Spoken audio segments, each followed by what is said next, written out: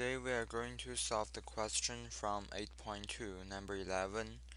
We need to find the arc length of the graph of the function from x equals to 0 to x equals to 2. And in question 11 we have the function fx equals to x squared over 2. First we need to know these equations like the integral of root 1 plus f prime of x square dx. This is equation we are going to use.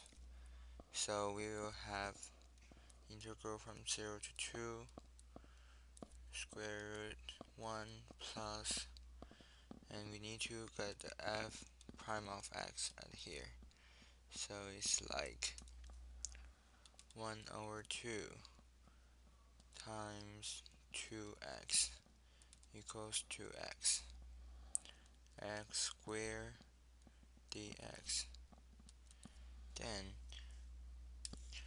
we need to use our calculator to get the answer of these equations here. So we will get 2.958 for the final answer